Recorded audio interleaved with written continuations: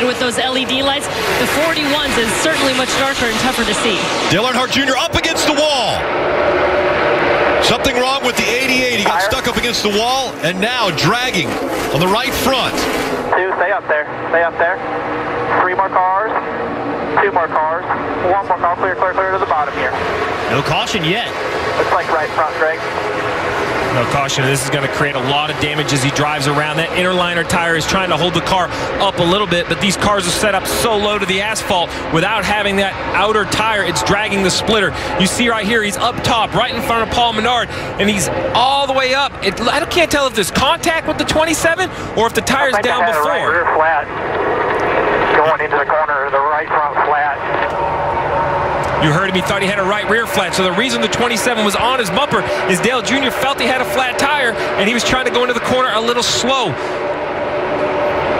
Dale Jr.'s coming to pit road. Kyle Larson also on pit road right now.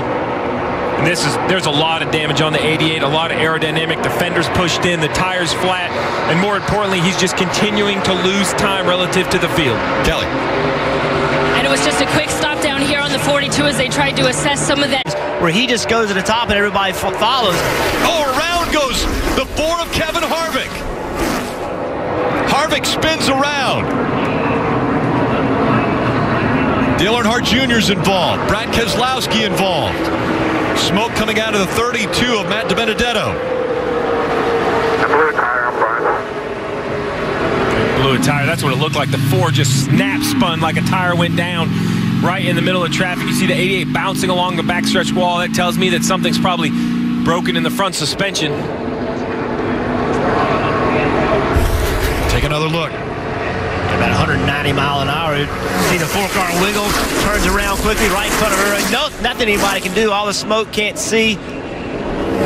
Hope you get through it. I'm amazed more cars in, aren't in an accident like that, Rick, as tidily as they're bunch going through the corner. Right here, you're on board with Kevin Harvick, middle of the corner, wide open. It is going you. Hey, easy here. Blue tire, something, hold your brake. Just a snap spin, and then the reaction behind him. And even the spotter in an accident, calm as could be on the radio. Calm as he could be. Stay on the brakes. Oh, that's how quick that happened. Keep coming, buddy. you can Keep do. coming. We're in it, Greg. Might be okay here.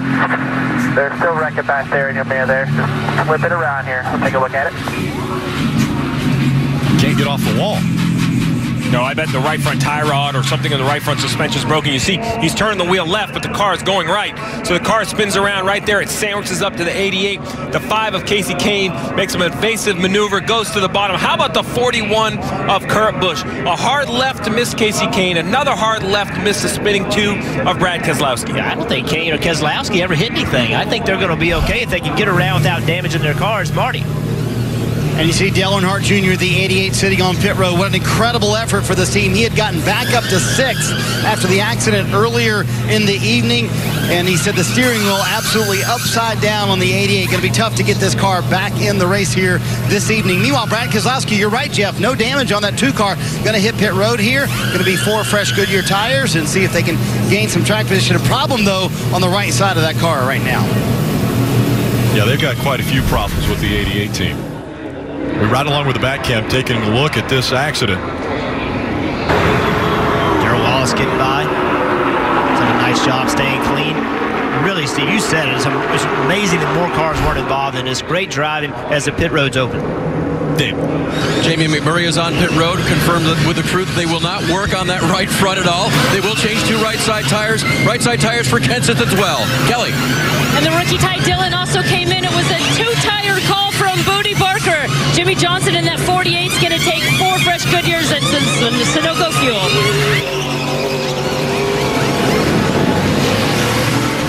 Pretty impressive run there for Matt Kenseth. They pick up three spots on pit road with that two-tire stop. Very close to being inside the fuel window. Yeah, we saw fuel come into play in February with 53 to go. It could absolutely come into play tonight. Another big one happening up front. This time it's Kevin Harvick blowing a tire right in front of the field. We go NASCAR nonstop.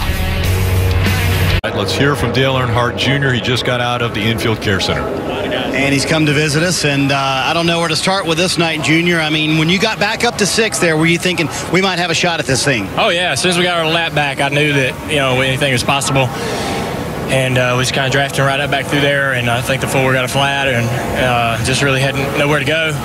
Um, but it was it was fun. Uh, we had a pretty strong car. It had some gremlins in there. I'm not sure what was going on with that, but uh, we had the toe in messed up. That first deal, um, we brushed the wall a couple laps earlier, and I thought everything was okay. And then I come through the tri-oval, and it was had a right front going down, and it was trying to spin out. And so I was trying to lift, and, and really nothing I could do because there's guys, so many guys behind me, and we got in at one and hit the wall. But the guys worked on the car. We got our last back, and was about to have some more fun, get back up in there, mix it up, and uh, then that happened with a four. But uh, it's been a wild night. I didn't I didn't anticipate this much action and this much, you know, torn up sheet metal, but um, there's still a lot of racing left. This might not be the last one at Daytona. You never know. But the emotion of this whole evening, if you can kind of sum it up, when we were riding around earlier and you were waving all the fans, you said you didn't expect this. Why?